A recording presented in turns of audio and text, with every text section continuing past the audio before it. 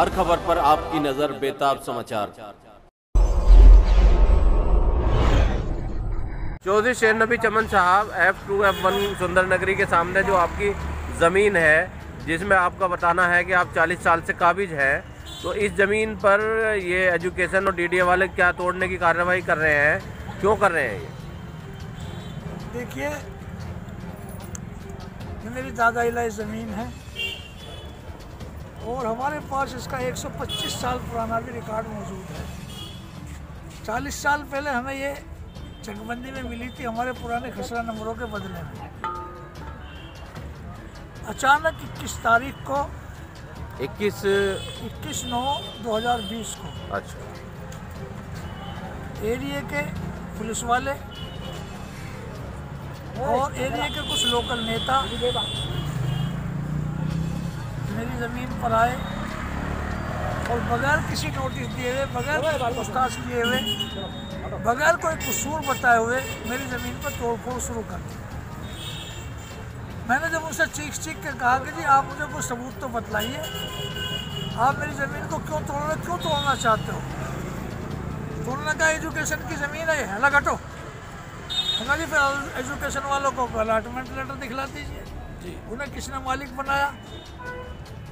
तो अचानक इतने में एस साहब नज़र आ गए, मैं जल्दी जल्दी जाके मुझे एस साहब, बताएँ क्या सबूत है इनके पास एजुकेशन वालों का? और क्या मिल के तोड़वा रहे हैं इसको ज़मीन को? तो ऐसे झटक के मेरे हाथ को और दूर जा खड़े हुए। फिर किसी ने कहा कि एजुकेशन वाले वो खड़े, मैं एजुकेशन वालों के पास गया, भैया, दिखलाओ। तुम्हारे पास क्या सबूत है? क्यों तोड़ना चाहते हो मेरी ज़मीन को? क्यों तोड़ रहे तो वो तो नहीं बोले। वो शायद थोड़ी सी उम्र का लड़का था, बीटा थ्री।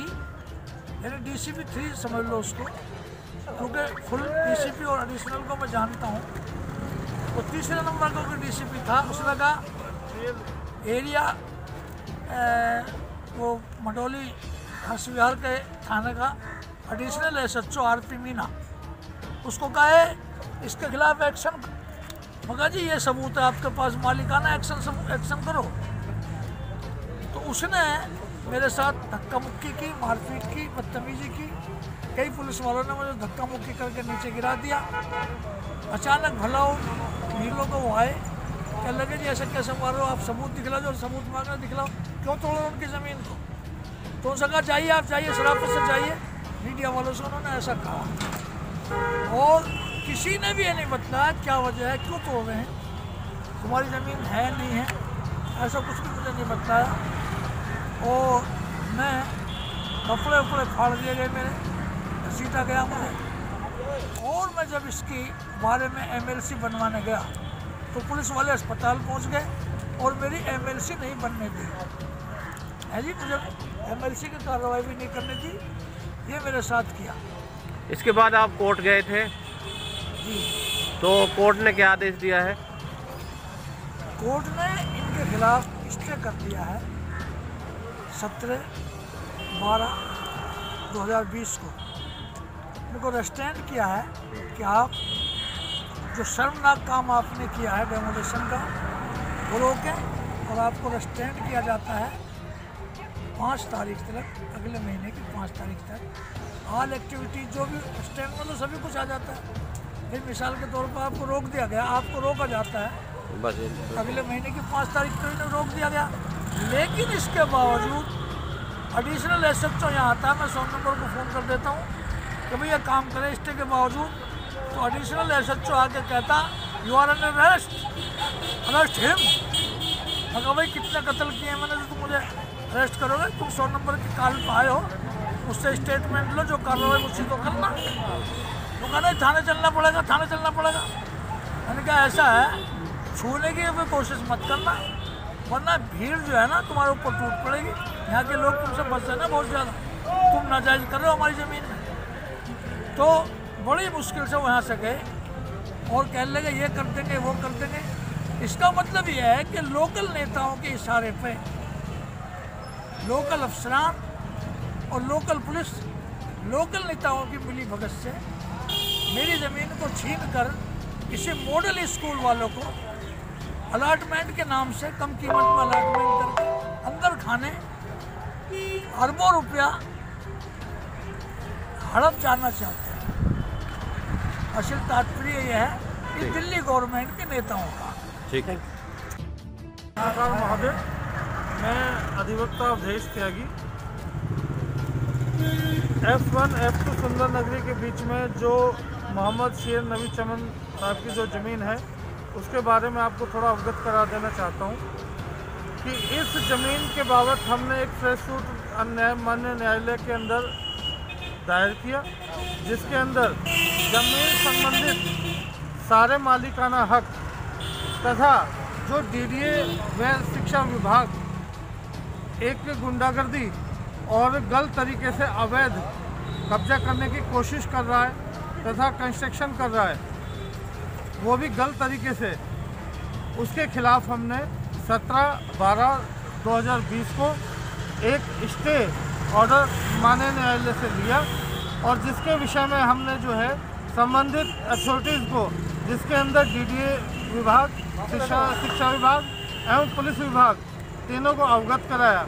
लेकिन तीनों विभागों ने इसको सिरे से नकार करके और इसके अंदर जो है अपना कंस्ट्रक्शन कार्य जारी रखा है जिसके बाबत हमने फिर भी इसमें कंटेम्प्ट ऑफ़ कोर्ट फ़ाइल किया तथा ज़मीन संबंधित सारी बातों को संबंधित अधिकारों को पुनः भी अवगत कराया लेकिन इन्होंने इसके अंदर कोई भी कार्रवाई नहीं की। वकील साहब जो कोर्ट का आदेश हुआ है कड़कड़डुमा कोर्ट से जी। जो चौधरी शेर नबी चमन और वर्षित डीडीए प्लस एजुकेशन का जो आपने सूट डाला था प्रॉपर्टी का तो उसमें कोर्ट ने स्पष्ट आदेश क्या दिया है? उसमें स्पष्ट आदेश ये दिया है कि अगली तारीख तक स्थिति को एज इट इज़ रखा जाए और इसके अंदर स्टे है कोई भी कंस्ट्रक्शन या डेमोलेशन कोई भी कार्रवाई न की जाए। तो आपका ये कहना है कि जैसे ऑर्डर आया है तो उसके बाद क्या डीडीए या एजुकेशन वालों ने यहाँ काम बंद कर दिया है? नहीं किया। अच्छा। तो आप बाकायदा पुलिस भी जो है यहाँ पर गुंडागर्दी करके मारपीट की गई हमारे लोगों के साथ और फिर भी जो है कार्य को उसी प्रकार से सुचारू रूप से करते आ रहे हैं अभी तक भी। आप देख सकते हैं साइड इस संबंध में फिर आप क्या कंटेम ऑफ़ कोर्ट की कार्रवाई करेंगे? जी मैंने कर दी है। मैंने कंटेम्प्ट ऑफ़ कोर्ट की एप्लीकेशन 19 तारीख को दायर कर दी है और इन लोगों को नोटिस इशू हो चुके हैं। क्या इस मामले में जो संबंधित अधिकारियों से मुलाकात की आपने? जी। जी मैंने इस संबंध में उस संबंधित अधिकारियों से बातचीत की जिसके अंदर हर अधिकारी ने इस कंस्ट्रक्शन और डेमोलेशन के बाबत अपना पल्ला झाड़ने की कोशिश की तथा लोकल लोगों के साथ मिल करके इस ज़मीन को अवैध रूप से कब्जाने की कोशिश की जा रही है। अब आगे की आपकी क्या कार्रवाई होगी? इसके अंदर हमने कंटेम्प्ट ऑफ़ कोर्ट के अंदर इन लोगों के खिलाफ हम सख्त से सख्त कार्रवाई करेंगे और इन लोगों को बर्खास्त कराएँगे बाकायदा। तथा अपने हमारी ज़मीन के ऊपर जो है अवैध कब्जा लेने की कोशिश कर रहे हैं वो हम हरगिज नहीं होने देंगे। पाँच तारीख को माननीय न्यायालय हमें इस के अंदर दोबारा से बिठाएँगे और हम इस ज़मीन के अंदर बैठ करके अपनी ज़मीन को अपने हिसाब से चलाएँगे। थैंक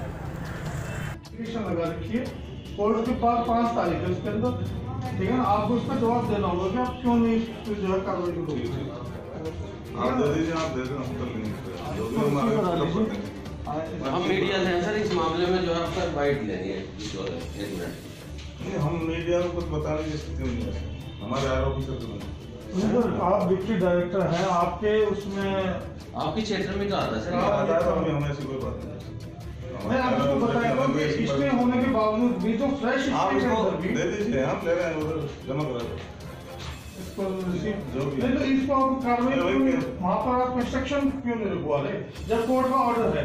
अब ऑर्डर आप तो ये पढ़िए कह रहे हैं ना आप जमा कराइए हम देखेंगे सारी स्थिति। उसके बाद बात करेंगे। ये तो वो भी आ चुकी होगी। हाँ, आ चुकी। हाँ वो तो पहले आ चुकी दीजिए उसको होगी। दे दो। इनके पास आ चुकी। हाँ, तो पहले आ चुकी। सर आपके पास तो ये इनका कहना ये है ये नोटिस आपका कोर्ट से भी हो चुका। मैं आपको ये कह रहा हूँ कि मैं अभी आपसे कुछ बात नहीं कर रहा आप कागज़ जमा करा दो मैं जाइए क्यों फ़ोटो ले रहा हूँ। कोर्ट में भी आपको जवाब देना हाँ, ठीक है। कि कंस्ट्रक्शन आप नहीं रुकवा रहे जमा हैं करवा रहे ना इसको। जमा करा दीजिए। तो आप इसके अंदर कुछ कार्रवाई करेंगे? मैं आपको क्या कह रहा हूँ जमा कराओ मेरे पास लेटर आएगा मैं देखता हूँ ना। मैं आपको बोल तो रहा हूँ और क्या बोलूँ? लेटर ऑफिशियल तरीके से ऑफिशियल तरीके से दीजिए ना। मैंने कोर्ट से ईमेल से भिजवा दिया आपको। ठीक है तो निकाल लेंगे।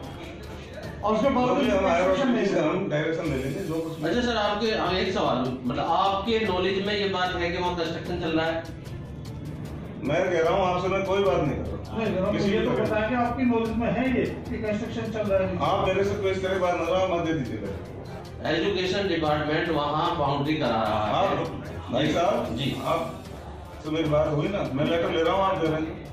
नहीं नहीं लेटर देने नहीं आए बात हम लेटर देने नहीं वो तो मेल से आ चुका आपके पास। हम तो ये पूछने आए ये पूछा। आपके पास क्या ऐसा कोई ईमेल आया जो वकील साहब दावा कर रहे हैं?